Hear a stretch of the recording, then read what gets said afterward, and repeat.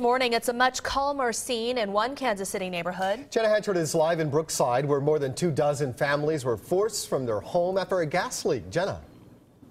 Good morning, Curtis. It's definitely a calmer scene this morning. People are actually pretty exhausted. I talked to some neighbors as they were coming out to get their paper, and they said they're tired. They've been up all night after being forced to evacuate last night. This morning, however, Missouri Gas and Energy crews were working right here, right behind me, up until about 4 o'clock this morning. That's after a reported gas leak at about 8.30 p.m. The exact location of the break, however, was not immediately clear, but crews had capped it off at about 10 o'clock. But this was the scene last last night. Authorities went door to door in Brookside to evacuate residents after a two inch gas line was struck in the area. First crews on the scene indicated a strong smell of natural gas. The evacuation covered 26 homes in the 6400 block of Pennsylvania where we are right now. Firefighters went inside each house to take a reading um, of the um, homes and there were some high readings. However, this morning, uh, 41 Action News was told that actually by an evacuated resident that Crews were working on a communications line. We haven't been able to confirm that. Still working to determine what caused this.